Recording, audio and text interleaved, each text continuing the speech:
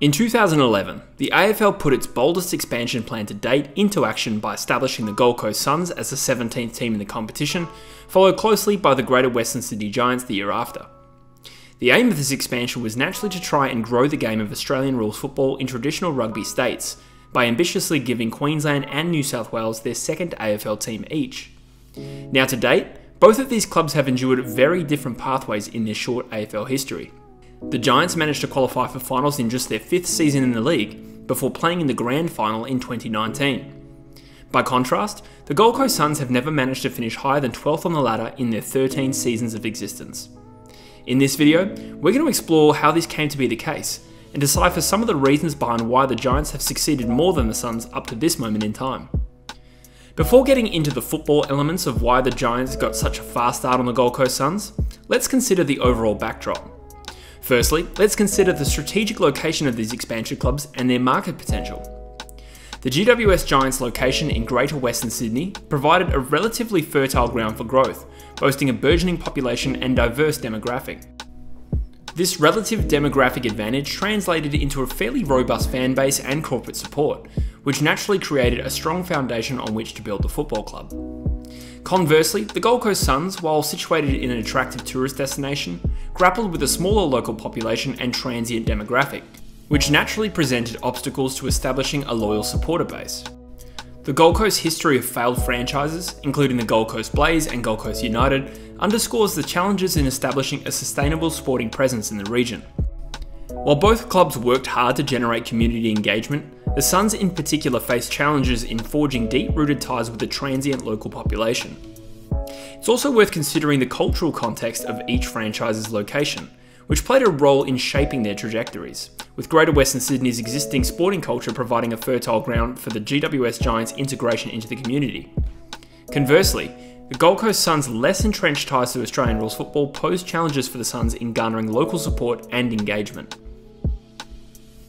The Giants' investment in state of the art facilities at Sydney Olympic Park provided players with world class resources and amenities, enhancing the club's appeal to prospective recruits and fostering a culture of professionalism. By contrast, the Gold Coast Suns encountered some hurdles in securing adequate facilities, which would ultimately hinder their ability to attract top tier talent and cultivate a high performance environment. So, now that we've established the backdrop behind which these clubs were established, let's consider the footballing elements that led to their very different fortunes. Let's start with the initial talent recruited by both of these clubs as they were established. GWS's acquisitions such as Phil Davis, Callan Ward, and Tom Scully underscored a long term vision aimed at building a sustainable competitive advantage. While they did secure their fair share of their own veterans such as Dean Brogan, Chad Cornes, and Luke Power, the Giants seemingly did a better job than the Suns of recruiting players with plenty of their best football still in front of them. Two of their initial young signings became co captains, while they continued to add seasoned veterans to mature their list in the seasons that ensued. Gold Coast, on the other hand, concentrated their efforts on securing a major marquee signing in Gary Ablett Jr., which, while impactful in the short term, did not provide the same foundation for long term success. The mature players they picked up, which included names like Jared Brennan, Michael Rischitelli, and Jarrod Harbrow, did not have the same lasting impact at the club that their Giants counterparts did. Part of both clubs' list build was their ability to pre list talented youth who were a year out from being eligible for the draft. GWS capitalised on a stroke of luck with the original pre-listed players, which included Jeremy Cameron, Adam Treloar, and Dylan Shiel, and they joined the club as 17-year-olds, bolstering their talent pool from the outset. The Suns, in contrast, lacked players of a similar talent level in their initial intake, placing them at a disadvantage in talent acquisition and development. Now, how much of this is down to bad luck or perhaps down to poor talent development? It's hard to quantify and something we may never truly know the answer to. It is also important to note that the Giants also fared a lot better when it came to the two clubs' respective first drafts. GWS's inaugural draft selections featured such players as Stephen Coniglio, Toby Greene, Taylor Adams, Nick Haynes, and Devon Smith. This, in addition to the more talented batch of pre-listed talents, laid the groundwork for a more competitive roster.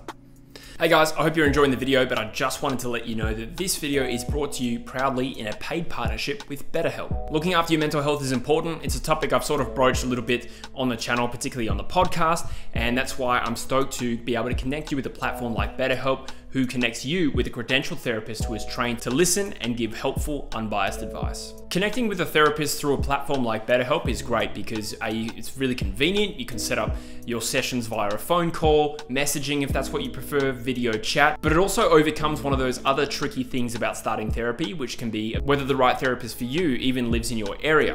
What I like about BetterHelp's service is that they make therapy more accessible, more easy, and if you are interested in getting this process started, you can simply visit the link in the description of this video or in the pinned comment, or go to betterhelp.com forward slash true footy. And it's important to note if you are matched with a therapist that you don't think is the right fit for you, you can switch to another one at no additional cost. So many of us find it easier to spend time in the gym working on our physical health, but don't apply the same application to our mental health. So if you are considering therapy, consider BetterHelp. And like I said, you can click the link in the description or go to betterhelp.com forward slash true footy. Clicking that link does help support the channel, but it also gets you 10% off your first month at BetterHelp so you can connect with a therapist and see if it helps you.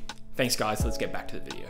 The Suns, on the other hand, faced challenges with their initial draft, and while they did produce eventual stars like Dion Prestia and Tom Lynch, their initial draft haul proved to be far less talented by contrast. It's also worth noting here that the Giants were afforded some extra draft concessions that the Gold Coast Suns didn't see in their expansion year. This came by way of a mini draft, in which the Giants could trade the rights to underage players such as Jaeger O'Meara and Jesse Hogan to other clubs and acquire more draft assets.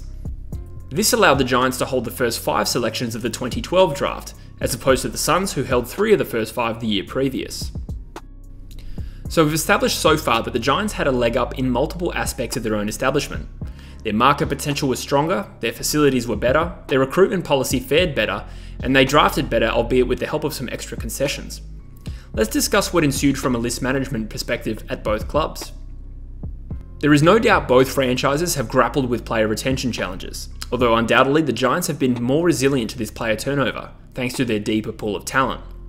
Star talents such as Jeremy Cameron, Dylan Shiel, Taylor Adams, Adam Treloar, and their prize number one pick, Tom Boyd, all walked out the door to rival clubs, but the Giants remained competitive throughout these events. One notable difference in the Giants' dealing for these players, in contrast to Gold Coast, was their ability to get established players in return, with Heath Shaw and Ryan Griffin being key examples. Once again, though, this is a product of them having a strong and competitive foundation of talent. In contrast to the Giants, the Suns have really struggled as a result of their bad player retention, perhaps due to the fact that some of the players that have left have been crucial players. Gary Ablett Jr. would eventually leave the club to return to his beloved Cats, but the exits of Tom Lynch, Steven May, Dion Prestia, and Jaeger O'Meara in a relatively short space of time would rip the heart out of the football club, leaving a crater in the list that would take a very long time to rectify. Diagnosing the issues behind both clubs' retention issues is a little bit tricky. In both instances, you look and see almost an oversupply of young talented footballers at a similar age trying to fit into the same best 22, and it is understandable that this led to players looking around for better offers at clubs back in their home state. The key difference between the two, however, is that the Giants were able to withstand the losses of these players a lot better. On field success is also a factor here, with the Giants qualifying for finals as early as 2016, while the Suns to this day have never finished higher than 12th. It would be hard to blame young Gold Coast players over the last five years for having doubts in the direction of their football club. So, in this video so far, we've covered the conditions that both clubs entered the league in, the nature of their fan bases, the quality of their facilities, and their overall list management. But in my mind, while it's helpful to consider the non footballing elements in this analysis, I have little doubt that the two key differences between the clubs that saw the Giants swim and the Suns sink initially were the quality of facilities as well as the original foundation of talent on the list, which would have a long lasting impact on the trajectory of these clubs. An interesting question to ponder, as the league signals its intent to expand the league to a 19 team competition when Tasmania join, is what they will do differently this time. What lessons will they have gleaned from their last two expansions? From my perspective, there will need to be a key focus on developing Tasmanian grassroots talent, which already seems to be in effect, as well as quality facilities to ensure a high performance culture. I also expect to see different concessions for the new Tassie team, one that leans more to getting a team playing competitive football as quickly as possible. So before we finish off this video, I feel it's good to end it off on a good note.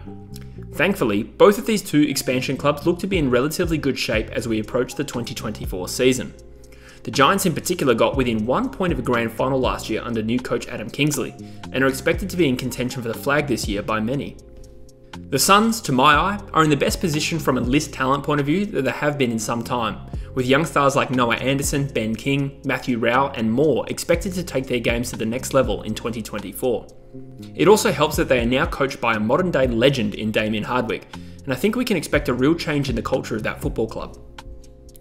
When you also consider how much local talent has developed in recent years thanks to the Northern Academies, better days of retention may also be on the horizon for these two clubs.